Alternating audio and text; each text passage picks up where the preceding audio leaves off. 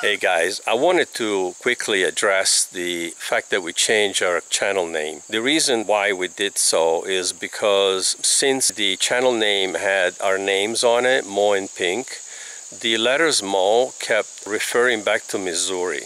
So uh, we would come up in Missouri searches, but we wouldn't come up on any other search including the off-grid life. And it's obviously it's important to us we get the exposure. And so that is the reason why we changed the channel name to off-grid life over 50 and besides you know we are over 50 uh, I'm well over 50 and I did disclose my age in previous videos. I don't want to get boring and keep doing so.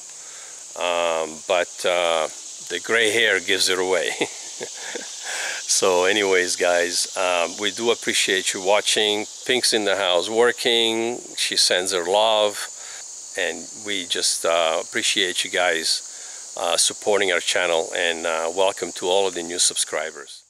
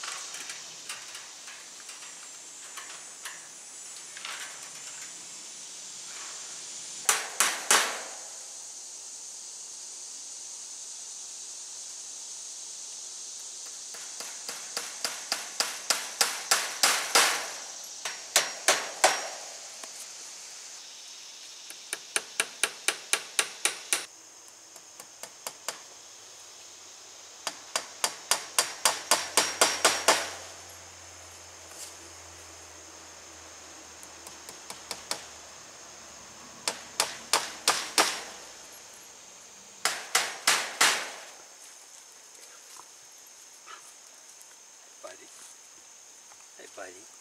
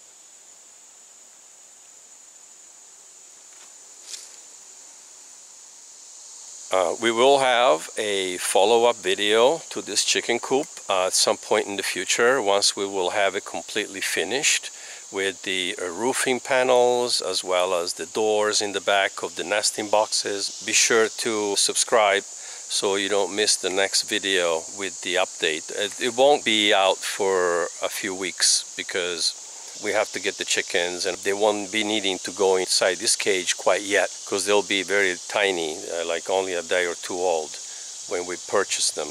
We'll be going to tractor supply and we'll probably make a video on that. So stay tuned for that video. And then we will show you all of the chickens and probably ducks that we will be buying. They will go into this coop about a month or six weeks from now once they put all of their feathers in okay? So the update will come in about three weeks to four weeks from now. You don't want to miss the video for the greenhouse build that will be coming up. And that's all bushcraft using trees. I think you will like it. If you like this, you will like the greenhouse. And hopefully you guys will get some ideas from this for your own projects on your own farmstead, homestead. If you're off-grid, this is another great thing to have in mind it's not difficult to build and put together. You just need a little creativity and uh, if you can measure and line things up and use a hammer, you can probably build it. Don't forget to like and subscribe. Thanks for watching. Until next time.